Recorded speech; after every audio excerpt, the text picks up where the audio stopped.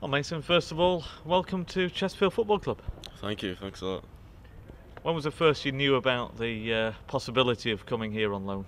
Uh, a couple of weeks ago, actually, my agent told me um, there was inter- there's interest from Chesterfield. So, I mean, they came and watched me yesterday, and then last night I was actually at the cinema watching a film, and I got a phone call from my agent saying, "Do you want to go to Chesterfield?" I said, "Just pounced on it." He said, "Yeah, definitely, straight away."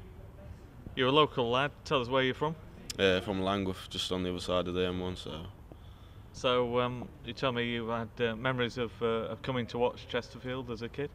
yeah, I think I was like nine or ten, and um, I was at the old stadium. I think I was just, I came with Sharbert Rangers, and they came and watched the game for like I think it was like a Christmas do or something. But yeah, it was a good memory.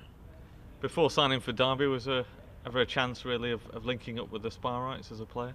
Um, I actually came on trial there actually as a school um, schoolboy. I think I was like 11 or 12, just before I signed for Derby. But I couldn't get here t- to train, so I went to Derby.